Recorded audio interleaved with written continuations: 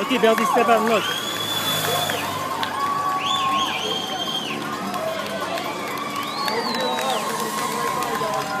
Okay, scoot back, guys.